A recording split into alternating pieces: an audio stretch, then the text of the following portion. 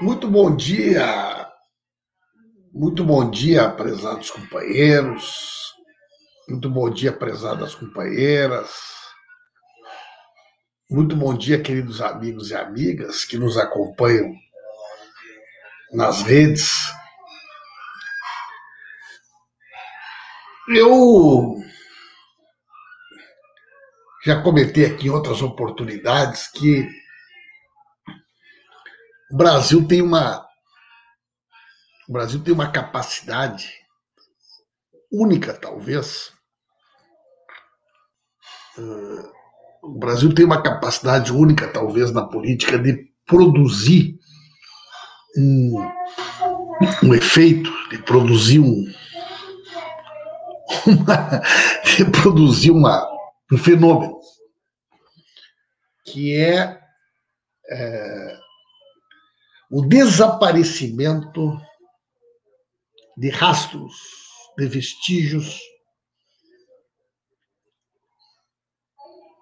que ocorrem ou em períodos eleitorais ou em. Enfim, é muito comum no Brasil. Por exemplo, vocês entenderem melhor o que eu estou querendo dizer. Eleitor do Collor. Vocês conhecem alguém que afirme categoricamente que foi eleitor do Collor naquela eleição contra o Lula? Vocês conhecem alguém que diga, não, eu fui eleitor do Collor, eu votei no Collor. Eu... Você não acha eleitor do Collor. Eleitor do Collor, por exemplo, é uma coisa que desapareceu. Eleitor do Collor é, um...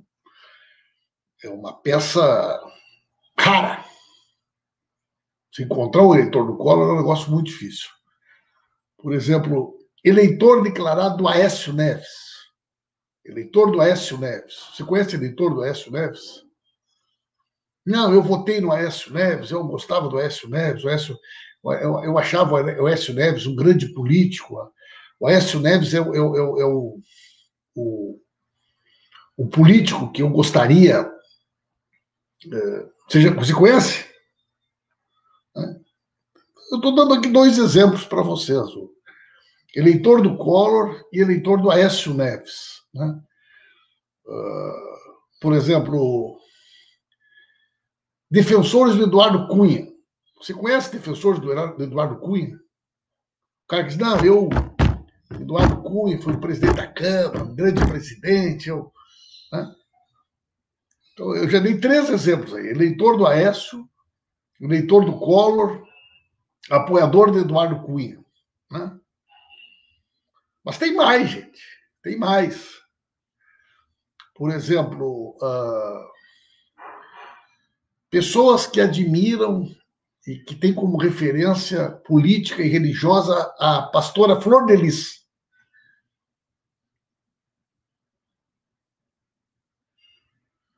Quem é, conhece alguém que não? Eu, ai, gente, eu tinha uma admiração enorme, eu adoro a pastora Flor de Lis. A pastora Flor de Lis é uma. Né, as músicas dela, de louvor, as músicas dela, né? Eu sou, eu sou fã da Flor de Lis, né?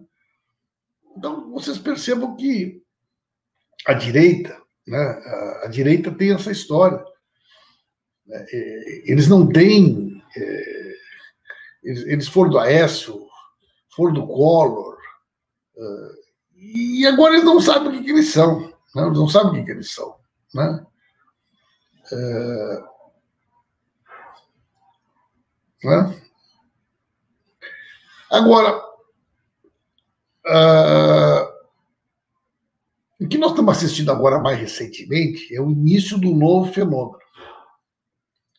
E as pessoas escondendo, escondendo que uh, não só escondendo que votaram no Bolsonaro, como escondendo que são bolsonaristas desses bolsonaristas raiz, raiz, né? É... E, mais recentemente sobre a questão da pandemia, né? Então, essas pessoas que diziam que a pandemia era uma gripezinha, que a pandemia era um resfriadinho, que era bobagem, distanciamento social, que esse negócio de álcool gel e usar máscara é bobagem, que isso é coisa de marica. E, e isso, gente, é muito comum das pessoas apagarem quando a doença bate na porta da casa delas. Quando a doença bate na porta. Porque quando a doença bate na porta da casa da gente, quando a doença chega perto da gente, quando a doença chega em alguém que a gente quer bem, quando a doença chega em alguém que a gente ama, e as pessoas em volta, elas começam a, a tentar entender e, elas percebem que aquela pessoa poderia ter sido salva se não fosse ignorância, se não fosse estupidez. Alba, de Cambará do Sul, quando isso acontece, é, começa a gerar um sentimento de revolta. Começa a gerar um sentimento de revolta uh, nos negacionistas. Por exemplo, agora, essa, essa morte do ator Paulo Gustavo. Essa morte do ator Paulo Gustavo, ela gerou uma onda de revolta porque é uma pessoa conhecida, uma pessoa pública. Né?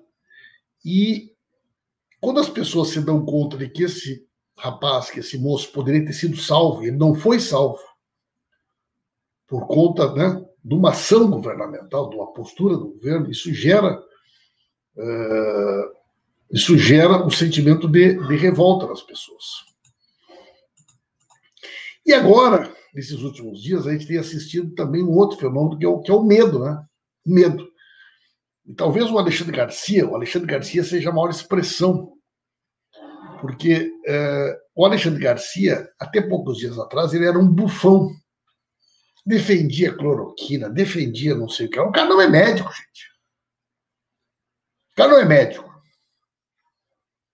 Uma pessoa que não é médica e vai para a televisão uh, defender o uso do remédio que não tem eficácia comprovada e que pode sim levar as pessoas a, a ter efeitos colaterais ou até mesmo perderem a vida, essas pessoas elas elas é, elas podem ser responsabilizadas por isso.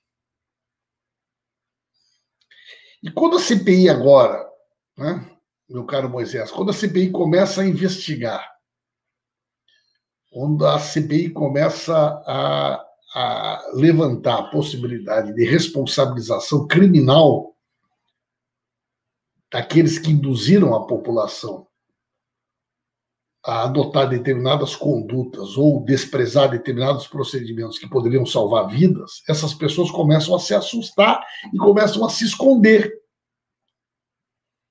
começam a se esconder.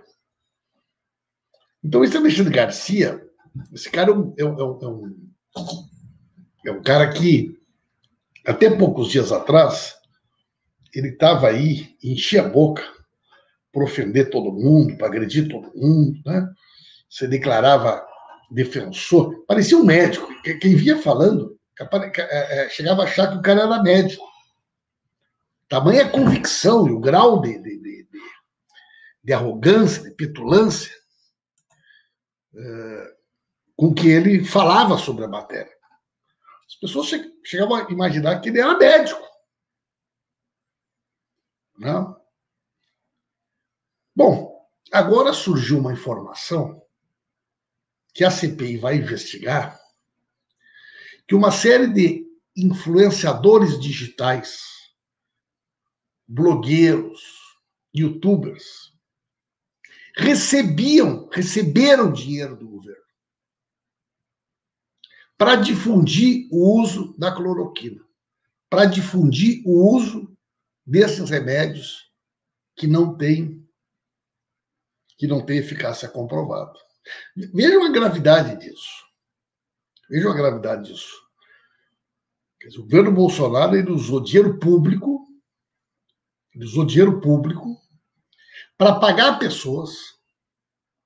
E estas pessoas iam para os seus espaços, né, ou na televisão, ou no YouTube, ou nas redes sociais, e passavam a defender o uso desses remédios, como se estivessem fazendo isso de forma espontânea, de forma natural. Olha, eu sou a fulana de tal.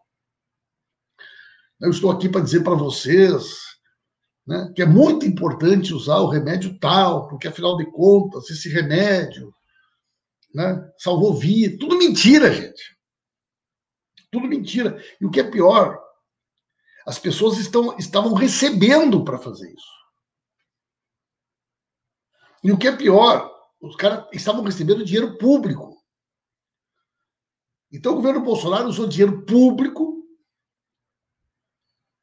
para pagar pessoas que não são médicos, que são pessoas que têm lá um canal no YouTube, um canal no Instagram, para que essas pessoas promovam a utilização de remédios que ninguém sabe, de fato, a eficácia. Então, então isso é muito, é muito sério isso. Se o Alexandre Garcia recebeu dinheiro ou não, Raul, se o Alexandre Garcia ganhou dinheiro ou não, não sei. Mas vai ser investigado. Vai ser investigado porque nós já sabemos que na SECOM e no Ministério da Saúde tinha uma lista de influenciadores digitais, de, de jornalistas, de, recebendo dinheiro público.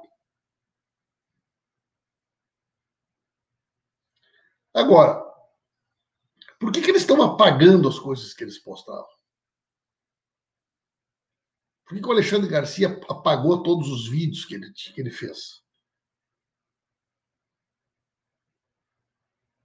É, é até meio esquisito, porque hoje em dia, gente, esses vídeos estão todos, estão todos guardados. Não tem como apagar.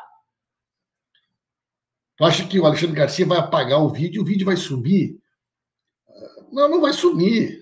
Esses vídeos aí já estão, já, já, já estão arquivados, já estão guardados. Agora, por que, que ele está apagando tudo que é vídeo? Por que, que eles estão apagando? Diz que o site, o site da, da, da Força Aérea também tinha uma. tinha uh, postagens incentivando o uso da, desses remédios. E também foi apagado. E também foi apagado. Será que essas pessoas imaginam que apagando esses vídeos, esses prints, eles vão apagar as coisas que eles fizeram? Caiu na rede, já era. Isso aí, Marcos. Caiu na rede, já era, gente. Caiu na rede, já era. Né? Olha, a Tânia recebeu a primeira dose lá na Holanda. Né? Que bom, né, gente? Porque aqui no Brasil, pessoal está aí sem conseguir resolver a segunda dose, né? Gente, quem ainda não deu like, pode dar um like. Quem ainda não curtiu, pode curtir. Quem ainda não me informou a cidade, da onde acompanha a nossa transmissão, me informe a cidade. Dê um like, né? Você está aqui no canal da Resistência, você está aqui na rede da Resistência. Eu estou aqui comentando com vocês e, e usando, usando o exemplo do Alexandre Garcia para falar sobre essa, essa mania, o, o, o, essa mania que o brasileiro tem, a direita brasileira tem, né? De apagar, se apagar. Foto com o Aécio Neves, que tinha de gente com foto do Aécio Neves que apagou, gente. O, o, campeão de apagar foto é esse Luciano Huck, gente. Esse Luciano Huck é o campeão de apagar foto. O que tem de foto que esse Luciano Huck já apagou nos últimos tempos é um negócio impressionante. Emília, lá da Alemanha, seja muito bem-vinda. Esse Luciano Huck é o campeão de apagar coisas na internet, tentando esconder da população opiniões, relações que ele tem, que ele teve, e assim por diante. Né? É engraçado, eu, não, eu, não, eu não apago nada nos postos. Eu nunca paguei nenhum post meu. Eu nunca paguei nenhum post meu, gente. Eu nunca escondi nenhuma opinião minha. Eu nunca fiz questão de ir procurar nas minhas redes sociais para pagar minhas postagens por causa da opinião de um ou do outro. Então, Adriana Melo, realmente é uma. Grande José está no Japão. O povo está chegando legal aqui hoje, está muito bom o público aqui, está muito. Né? Uh, o fenômeno, o fenômeno do escondidinho, disse É escondidinho. O nome disso é escondidinho. José Ferreira de Franco da Rocha. Meus queridos companheiros e minhas companheiras, né? a moda agora é apagar postagem defendendo o tratamento precoce. Isso chama-se medo da CPI. Esse Alexandre Garcia está com medo, rapaz. Está com medo. E eu, se fosse ele, estava com medo mesmo. Né? Hein, Paulo Conceição? Nós não apagamos foto, né, Paulinho? Paulo Conceição. Nós não apagamos foto, Paulinho. Agora, essa turma está com medo, gente. E tem motivo para estar tá com medo. Diz que essa noite, rapaz, essa noite, o pessoal que passou lá na frente do Palácio do Alvorada, diz que era. Diz que as luzes, tudo aceso, tudo aceso. E gente caminhando de madrugada. Diz que o Bolsonaro, diz que o Bolsonaro caminhava de um lado para o outro.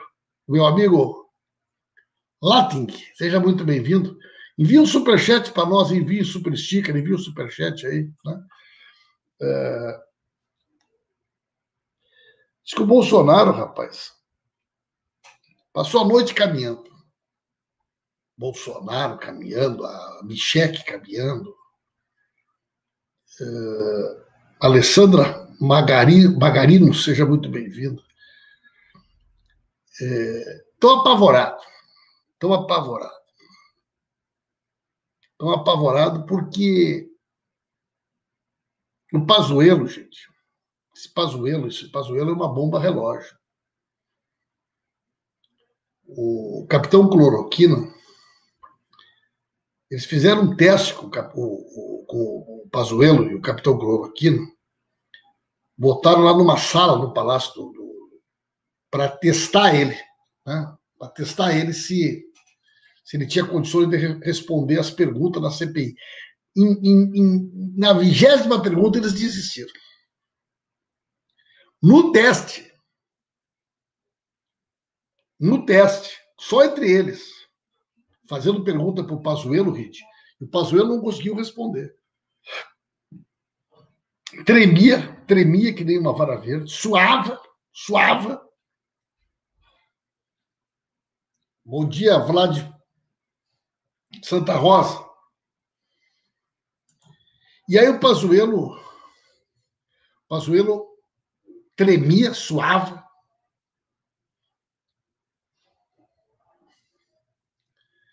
E aí eles inventaram uh, um jeito do Pazuello não ir, porque eles achavam que iam conseguir enganar a CPI e o Pazuello. Aí inventaram que tinha dois assessores do Pazuello que estavam com Covid. Ninguém sabe quem são. Cadê o teste? Cadê o teste? Aí o Pazuello já está falando, Kleber, que vai pedir uma, um, um, um habeas corpus para não ir depor. Mas qual é o problema de ir depor, gente? Qual é o problema de ir depor? Não é os bolsonaristas que diziam quem não deve não teme, quem não deve não teme, quem não deve não teme. Porque, cara, o cara é general, gente. O cara é general. Grande Santa Cruz do Sul, Hermani. O cara é general. Imagina o seguinte, gente. O cara tá com uma desinteria. O cara tá com uma diarreia aguda desde o dia que começou a CPI cara vai ter que defrauda quarta-feira depois, mas vai, vai ter que vai defrauda, mas vai depois. Agora, eu fico pensando, eu fico pensando, gente. Eu, eu ia dizer isso, mas imagina, imagina esse general numa batalha, gente. Imagina esse general na guerra.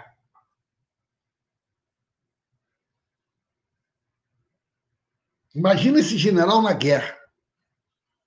Se o cara faz 10, Raul, o cara faz 10 dias, faz 10 dias que não dorme, nunca mais saiu no banheiro, só de imaginar que vai ter que ir na CPI ficar frente a frente com os senadores.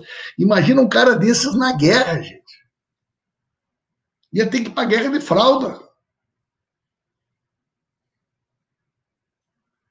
Pobre, pobre do Brasil, gente.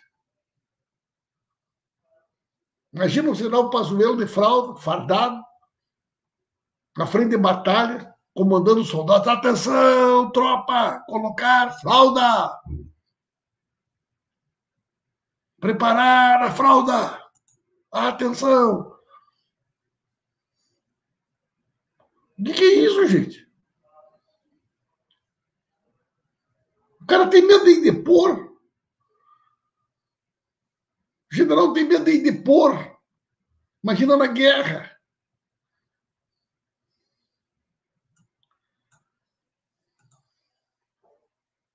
É isso aí, Dirce. Tem que apertar aquela CPI, tem que apertar aquela CPI.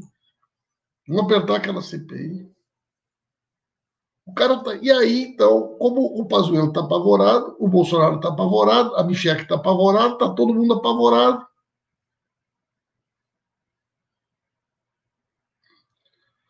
Uh, atenção, tropa! For, atenção, forma! Preparar, fralda! Apresentar, fralda! O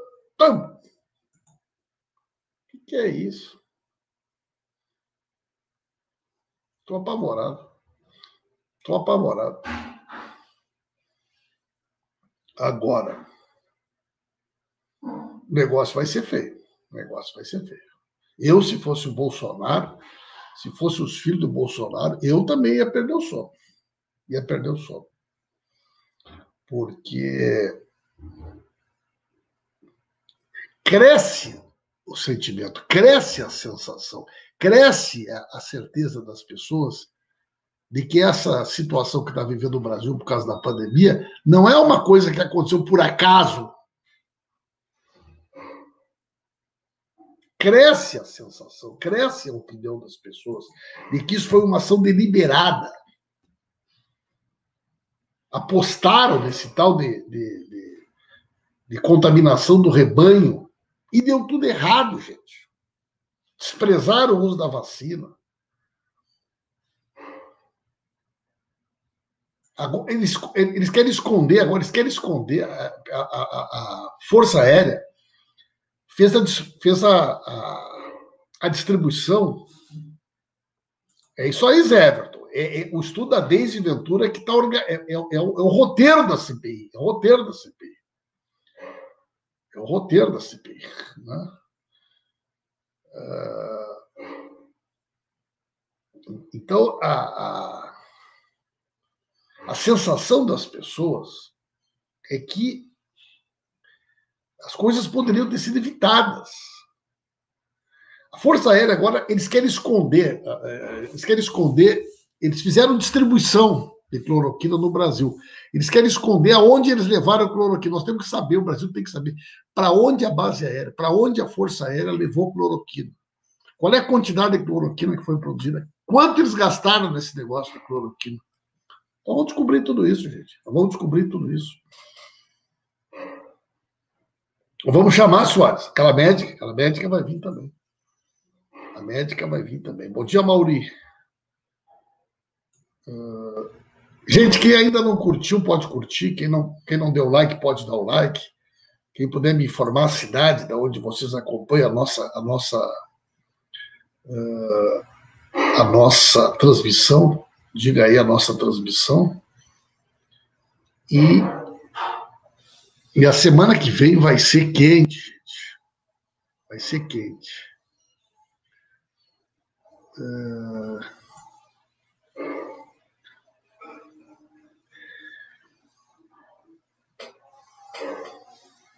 É... Bom dia, Kátia, de Braga, Portugal. O Bolsonaro está muito aquário. Bolsonaro é bufão. Ontem ele veio dizer: se não tiver voto impresso, não vai ter eleição. Se não tiver voto. Que, que é Bolsonaro, gente? Bolsonaro está Bolsonaro tá aí ecoando sozinho. Tem uma, tem uma expressão no Rio Grande do Sul, que eu não sei se vocês conhecem, que, chama, que diz assim: tosa de porco. Tosa de porco. Muito grito e pouca lã. Vocês ouviram falar de tosa de porco, gente? Tosa de porco. Ayrton Medeiros.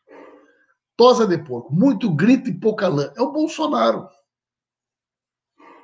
Bolsonaro é que nem tosa de porco, faz uma gritaria, mas lã que é bom não tem nada. Bolsonaro berra, grita, não vai ter eleição, não vai ter. Mas, mas, isso aí é um tigre de papel. Isso é um tigre sem dente, sem unha. Entendeu? Tosa de porco, só. Tosa de porco. É só grito. É uma gritaria.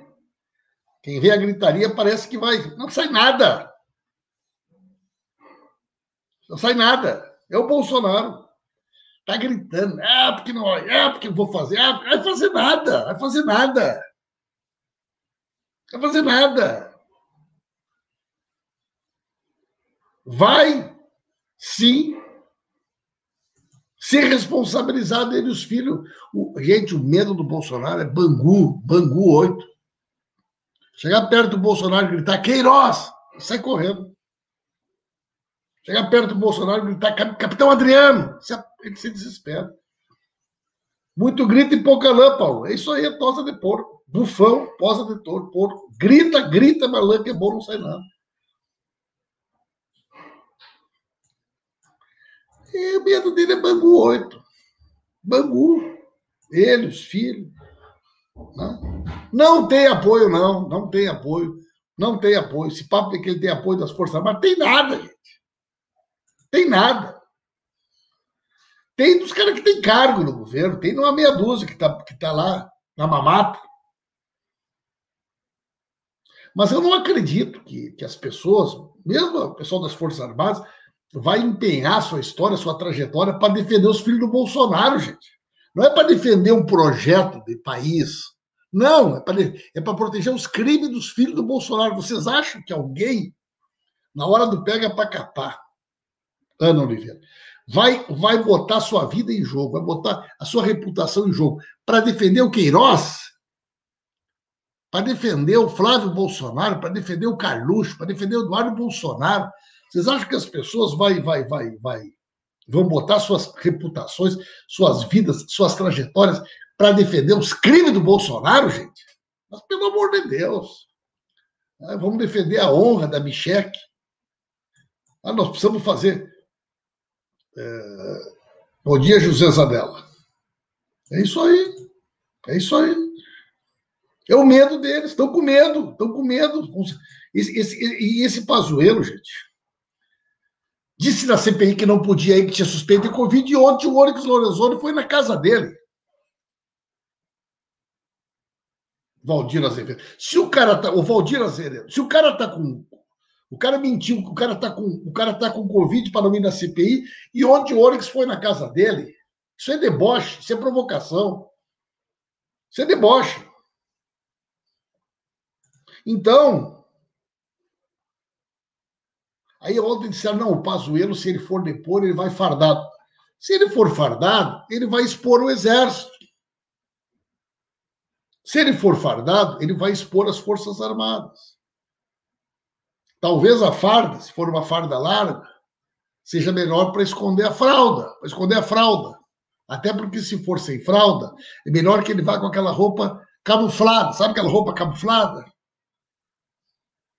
Vai com a roupa camuflada, se for sem fralda e for fardado, vai com a roupa camuflada, para não passar vergonha, Pazuello.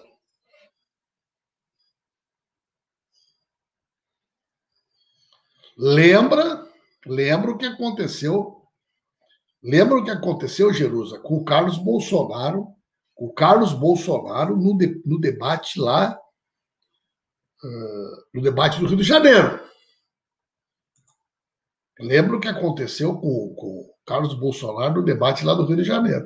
Então, minha sugestão, Pazuelo, se for sem fralda, vai de roupa camuflada. Vai de roupa camuflada. Né? Porque Sargento Garcia, quero ver o Sargento Garcia de roupa camuflada do depoimento.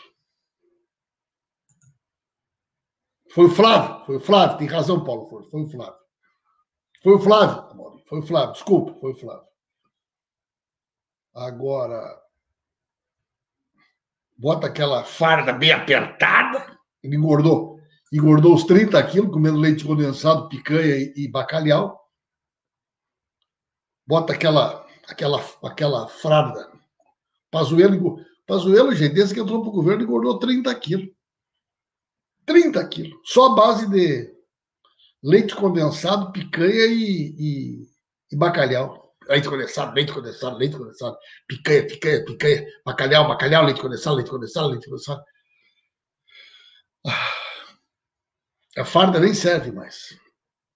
Mas que vai fardar. A farda está tão apertada que não vai ter como botar fralda.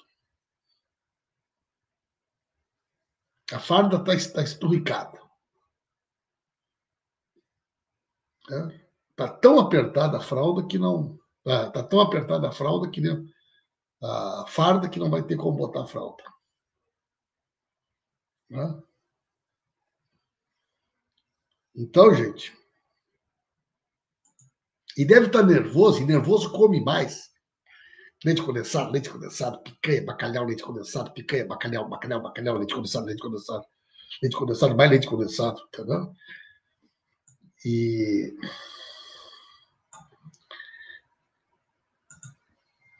E aí, claro, e aí quanto mais come, já está com a barriga, já está com a barriga, já está com a barriga, já está com a barriga solta, já está com a barriga frouxa, e comendo leite condensado do jeito que está comendo. Vai ser um horror. Vai ser um horror. Vai ser um horror. Tem que levar uma. Tem que levar uma máscara. Mas não adianta botar essas máscaras só pro, só pro Covid, gente. Tem que botar uma máscara de oxigênio, por causa do cheiro. Por causa do cheiro. A, a, a fralda até. A fralda resolve em parte mas o cheiro não tem como esconder. O cheiro não tem como esconder. E essas máscarazinhas de, de, pro Covid não resolve a questão do cheiro. E o cara nervoso, nervoso, nervoso, leite condensado, leite condensado, leite condensado. Deus o livre.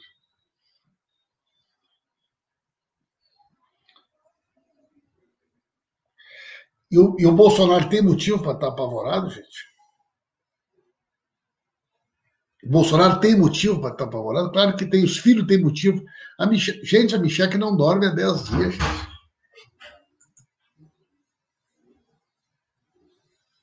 Né? Micheque, a Micheque está aí sem dormir há quantos dias? Também sabe, sabe o que aconteceu. Então é isso, gente. É isso. Vamos ficar ligado aí, porque semana que vem a chapa vai esquentar. Vai esquentar. E nos próximos dias aí a gente vai vai estar em contato com vocês. Quando, quando eu falo uma coisa, gente, que mexe nos bolsonaristas, eles enlouquecem. Eu falo no Queiroz, gente, eu falo no Capitão Adriano, eu falo na Micheque, eles enlouquecem, gente. Enlouquecem. Então, sabe que, que, que quando eu, eu sei que eu estou falando alguma coisa que incomoda eles pela reação deles. Quando eles se descontrolam, quando eles vêm bem louca, bem louco, é porque eu bati no, eu, eu encostei num, num ponto que incomoda eles. Né? Hein, Paulo Cândido? Alguma coisa que eu falei incomoda eles. E vai incomodar muito mais. Vai incomodar muito mais. Né? Tá bom, gente? Então, um abração para vocês aí. Quem não se inscreveu, se inscreva. Quem não deu like, deu like. Quem não mandou uma mensagem, mande uma mensagem aí. Quem não mandou o superchat, mande o superchat. Manda o superchat aí para mim. Vamos ver. E mais tarde a gente conversa. Um abraço.